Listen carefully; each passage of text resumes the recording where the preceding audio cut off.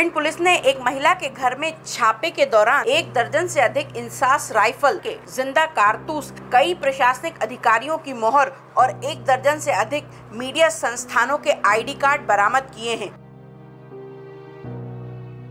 भिंड की डीएसपी पूनम थापा ने मुखबिर की सूचना पर ये छापामार कार्रवाई अब पुलिस ने महिला को हिरासत में लेकर पूछताछ शुरू कर दी है।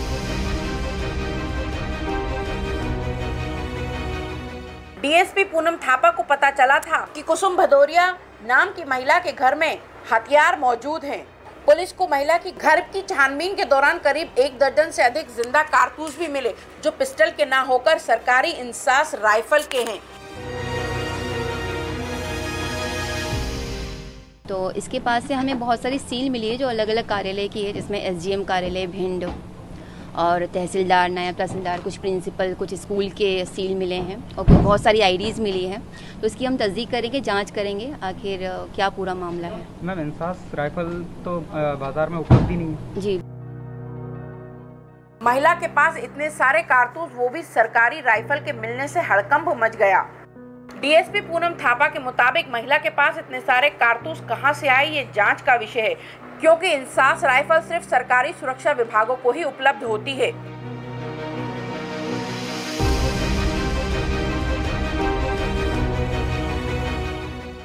कारतूस और पिस्टल के अलावा एक दर्जन से ज़्यादा सरकारी विभागों के अधिकारियों की मोहर भी मिली है, जिनमें एसडीएम समेत कई आला अधिकारियों की मोहर शामिल है।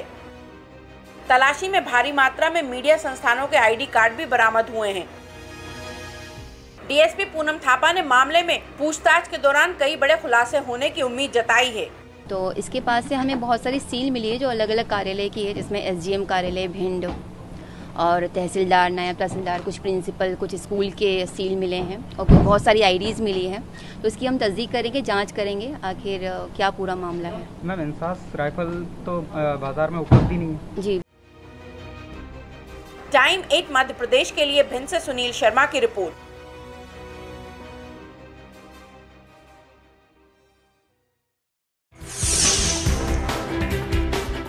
भिंड पुलिस ने एक महिला के घर में छापे के दौरान एक दर्जन से अधिक इंसास राइफल के ज़िंदा कारतूस, कई प्रशासनिक अधिकारियों की मोहर और एक दर्जन से अधिक मीडिया संस्थानों के आईडी कार्ड बरामद किए हैं। भिंड की डीएसपी पूनम थापा ने मुखबिर की सूचना पर ये छापामार कार्रवाई अब पुलिस ने महिला को हिरासत में लेकर पूछताछ शुरू कर दी है।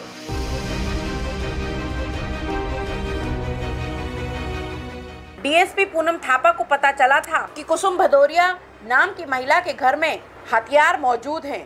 पुलिस को महिला की घर की छानबीन के दौरान करीब एक दर्जन से अधिक ज़िंदा कारतूस भी मिले, जो पिस्टल के ना होकर सरकारी इंसास राइफल के हैं तो इसके पास से हमें बहुत सारी सील मिली है, जो अलग अलग कार्यालय की है, जिसमें एसजीएम कार्यालय, भिंड और तहसीलदार नायब तहसीलदार कुछ प्रिंसिपल कुछ स्कूल के सील मिले हैं और बहुत सारी आईडीज़ मिली हैं। तो इसकी हम तस्दीक करेंगे जाँच करेंगे आखिर क्या पूरा मामला है। मैम इंसास राइफल तो बाज़ार में उपलब्ध ही नहीं है। जी। महिला के पास इतने सारे कारतूस वो भी सरकारी राइफल के मिलने से हड़कंप मच गया। डीएसपी पूनम थापा के मुताबिक महिला के पास इतने सारे कारतूस कहाँ से आए ये जाँच का विषय है। क्योंकि इंसास राइफल सिर्फ़ सरकारी सुरक्षा विभागों को ही उपलब्ध होती है।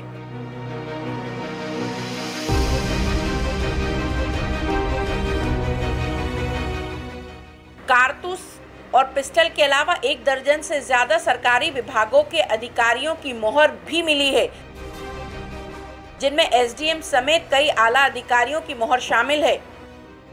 तलाशी में भारी मात्रा में मीडिया संस्थानों के आईडी कार्ड भी बरामद हुए हैं। डीएसपी पूनम थापा ने मामले में पूछताछ के दौरान कई बड़े खुलासे होने की उम्मीद जताई है। तो इसके पास से हमें बहुत सारी सील मिली है जो अलग अलग कार्यालय की है जिसमें एसजीएम कार्यालय भिंड और तहसीलदार नायब तहसीलदार कुछ प्रिंसिपल कुछ स्कूल के सील मिले हैं और बहुत सारी आईडीज़ मिली हैं।